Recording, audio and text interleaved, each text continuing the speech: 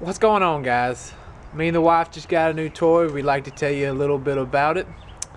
I grew up all my life in the Boy Scouts, so I camped a lot. One summer I went all the way to Yellowstone with my grandparents in their big class uh, CRV. Um, wanted to try to get my wife um, interested in being being in the outdoors. So we got a tent and tried to go camping. She didn't did not enjoy that too much. So we decided that we like to try to do something with an RV, travel trailer, or something like that. Problem is, I got this 2012 FJ Cruiser, and whatever I had, I wanted that to be able to pull it. So that kind of limited uh, us on what we what we could actually do. So we found something that was very interesting that this is able to pull.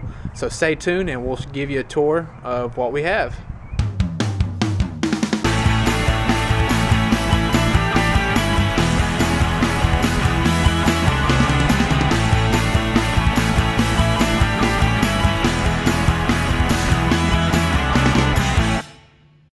Okay, here's what we have. We have a 2017 Winnebago Mini Drop 170S.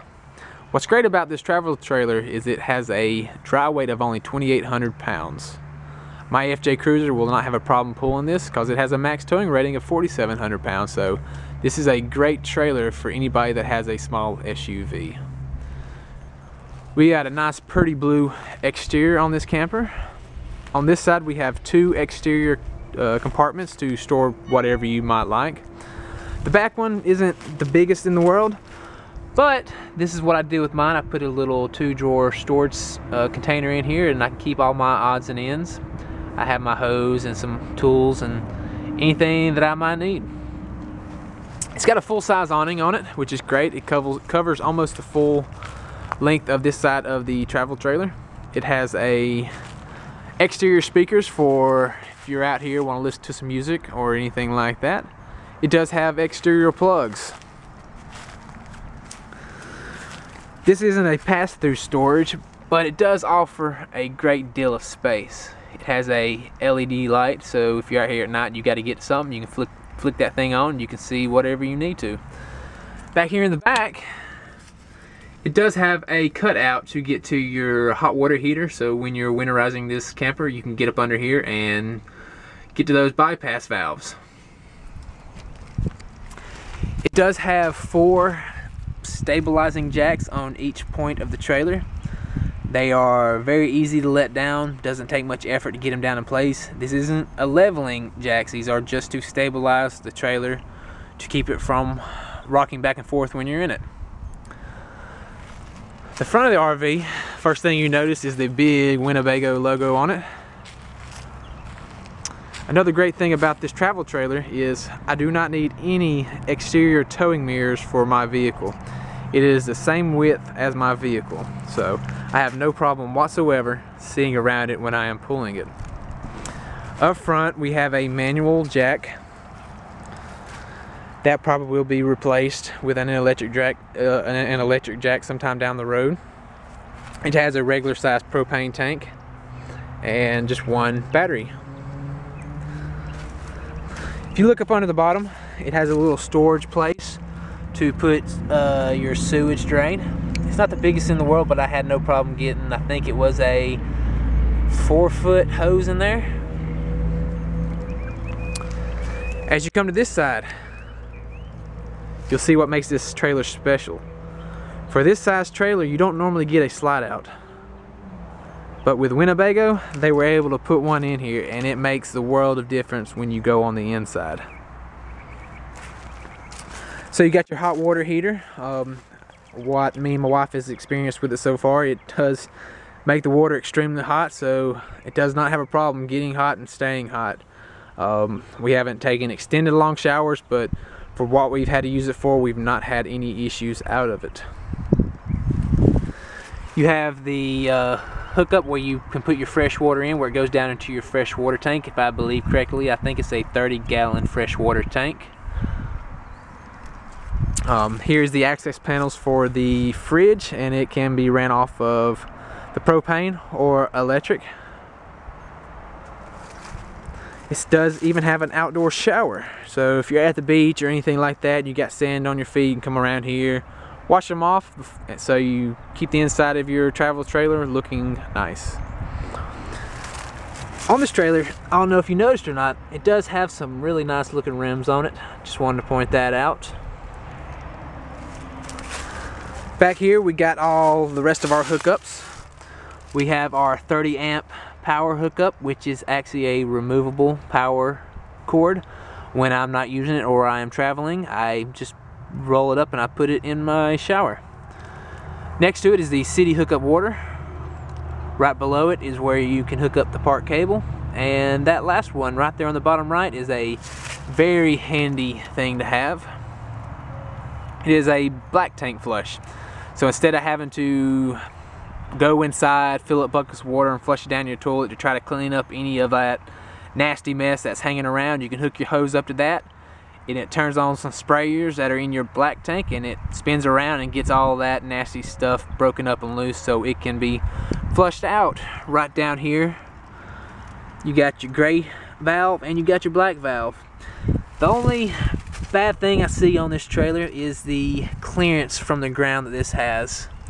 You got to be very careful when you're going over speed bumps or anything like that because this is the lowest point on the trailer um, I've not had a problem with it yet, but it is something to be aware of when you're pulling this trailer that this is your lowest point, so just take it nice and easy over any bumps. The back side of the camper, there isn't much to see about it. It is got the Winnebago Winnie Drop logo on it. And it's got a little place for your tag. So that about covers the outside of the RV. Um, so stay tuned and we'll take a look at the inside. Alright, here's what it looks like as you open the door to the Winnie Drop 170S. As you can see, it's got a very nice faux wood floor in it. And what's great about the 170S, it has a full size bathroom in it, which we'll show you that in a second. As you come in, you have the kitchen to the left. Yes, you have a full-size queen bed in the back and you have a nice little dinette here to the right. Um, me and my wife on the dinette, we uh, throwing some ideas around where we pull this table out, cut a piece of plywood, make some cushioning for it, and kind of make this into a little bit of a couch. Um, don't know when we might do that, but when and if we ever do, we'll be sure to show you how that turns out. Up top here, we got a little entertainment center. Um, this connects to the outdoor speakers outside, and it's got AM, FM. It's got Bluetooth built in so you can connect your phone to it, and it can play DVDs and CDs. Up top, we got some storage area for some plates and anything that you might want. We've, like I said, we've not, we've only been on one quick trip with this, so we haven't quite decided on how or what we are going to put in all these cabinets. But we just got some essentials in there, so we still have plenty of, of room to fill this with stuff. It even has a little shelf in the back. Right now we just got some uh, blankets on it, because when we went it was a little bit chilly. But the heater in this thing works great. It's uh, one great thing about having a camper that's only 19 feet long is that doesn't take much to heat it up. Like I said, it's got a full-size queen bed. You can lift up over here on the left side and you can access your hot water heater again on this side, but I found out it is easier to just climb up under the little storage compartment up under there and access those bypasses. But I'm not the biggest guy in the world, so I didn't have a problem getting up under there.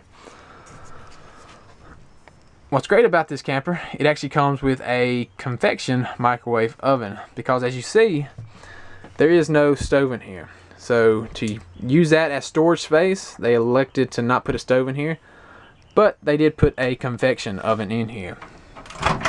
So you do have the functionality of an oven with the microwave.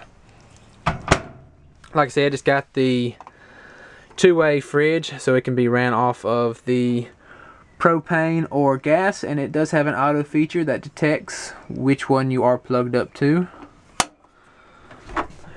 I think this is a four cubic foot fridge. Um, we found that there is plenty of room in here to put anything that you might need. It does have a little storage area to put any kind of frozen items that you might need. Um, if you put ice trays, uh, two ice trays in there, that's about all you get in there. So not the biggest room for freezer stuff, but does have a decent amount of room for any cold items that you might need to put in there. We got a two burner stovetop. Um, we had these on. It does get pretty warm in here with these on, but there is ample uh, ventilation with all the windows. Um, coffee maker didn't come with the camper. That's just what we put in there. It's got this uh, sink with a nice little cover or cutting board, however you want to use it.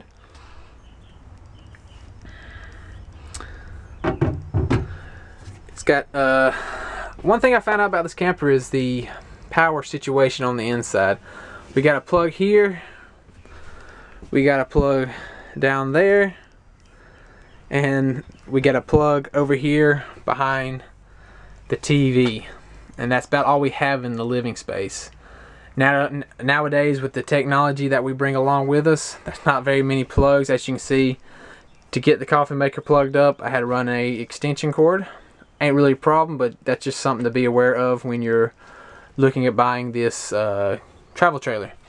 Up top here, more storage. This is where we got some of our plates and some of our cups. Yes, we are Auburn fans, War Eagle. Below here is where we got our pots and pans. And I attached a little place to hold paper towels. And we bought a little clip to go on the cabinet to hold some towels. It does have full sliding out drawers. So ample room to put any kind of utensils that you might need. I didn't mention up under the seats there is also storage up under there and this table does let down and you can have a bed right here. The camper does come with a 15 inch 15 inch Jensen TV. Um, it's not the biggest in the world, but again, with a 19 foot camper, you don't need that big. I think you might get a little bit bigger there, bigger TV there. We haven't looked into that yet, but that is an option. You have your handle up there to rotate your digital antenna around because this does come with a very nice low profile digital antenna that picks up really good service for any of those digital channels that you might be wanting to try to get. Over here we got our thermostat for our heat. We got our controls for our battery, our fresh, our black, and our gray. Where you can turn your water pump on if you're wanting to use your fresh water tank. And you can run your hot water heater off LP gas or electric. But of course, if you run it off of LP gas, it's going to uh, heat up a little bit faster. And if you're not in a rush, you can heat up with electric, which I've been using. It takes about 15 minutes to heat up the water. Here you got your power on and off to turn your slide, uh, turn your power to your slide on. It takes about 10 seconds to go in and out, but not had a problem with that. Up here we got some uh, vents. Uh, we have a, a vent for the bathroom. So you can open the vent and then turn the fan on. Kind of strange that they put this out here because if you're in the bathroom, uh, it's kind of hard to access these. So you just have to do it before you go in. Over here, you actually got your pantry. It's got a pretty good a bit of room, a pretty good bit of room for storage. Again, we don't keep food in here when we're not in here. It just keeps any kind of pests and uh, keep away any uh, issues that that might cause. Down below is your access panel for all your breakers and fuses. So now, like I said, the biggest selling point for this uh, travel trailer for the 170S is the full-size bathroom. So let's take a look at that. Give me a second, I forgot to turn the light on. Alright. As you open the door, you can see it has its it has a full-size toilet. It has a full-size shower. And like I said, we have it winterized right now, so it's actually hanging down, making sure any kind of liquid in, in there will drain out. There's that fan I was telling you about. Um, you can open it up and then uh, suck out all the hot moisture that happens when you're taking a shower. Over here, we got our little sink. As you can see, it's got plenty of room to put any of your stuff up there. Has a nice little mirror right there. Does have a plug right there. And up under here, you can put your towels and anything like that. You also got your uh, two low, low point drains up under there. And you do have this uh, pedal style toilet, one pedal. Uh, half makes water come into it, full flush actually flushes everything down. Instead of mounting the toilet paper holder to the wall and damaging the wall, we just bought this little uh, toilet paper holder at Walmart. Back here you got a pretty good sized little closet up top here, my wife did these two little caddies, one for me, one for her to put our white clothes in and stuff like that. Up under here, you got your little hooks for anything that you'd like to hang. And we put a little dirty clothes uh, basket in here, so the clothes will hang kind of in them a little bit, but you can still put all your dirty clothes in there instead of having them strewn all over the place. It makes it very handy. So here's a shot from the bathroom. Like I said, for a 19 foot camper, you got a really good, decent amount of living space in here. So we're taking it out again in about a week. Um, we're looking forward to it. And I didn't tell you about the air conditioner. I about forgot about that. It actually has a low profile Dometic uh, air conditioner unit. You can turn just the fan on and or turn the AC on so it keeps the compressor on. It is loud when you have the compressor on running for the AC. I mean, if you're used to the travel trailers and all that kind of stuff, you realize that these aren't the quietest in the world. It doesn't have a thermostat to control this. It is controlled by a switch just determining how cold you want it. Sorry about that. I don't know why my camera shut off, but like I was saying, it isn't the quietest quietest uh, air conditioner in the world, but it does cool this area very effectively. So you don't have to worry about being hot when you come back to your camper. So yeah, this is the inside of the uh, Winnebago Winnie, uh, Winnie Drop 170S. If you're wondering, this is how the trailer sits when the slide is completely in. And what's great about this, if you're traveling on a long trip, um, you still want to get out, stop somewhere, get some lunch, you have ample room to get over here to the fridge to get your food. You still can fully use your table and it does not affect your bed at all. So slides in, still ample room. Um, that's a great feature of this trailer. Um, I know with my uh, parents' big travel trailer, when the slides in, they cannot access anything that is in their fridge, which uh, is a problem if you have drinks in there instead of stopping at gas station buying drinks you can just open up the camper grab one that's already cold and ready to go well we hope you enjoyed the tour of our Winnebago mini drop 170s I know I'm excited. I know my wife is excited which you'll get to meet her at a later time. We're very excited to take this out on our trip next week where I'm going to show you how to hook this up to my FJ Cruiser or any other small SUV the CURT system they have on this is very simple to use, very easy to hook up, and when I'm pulling up behind my FJ Cruiser, it's hard to tell that it's even behind there. So if you'd like to see that, make sure you subscribe to our channel.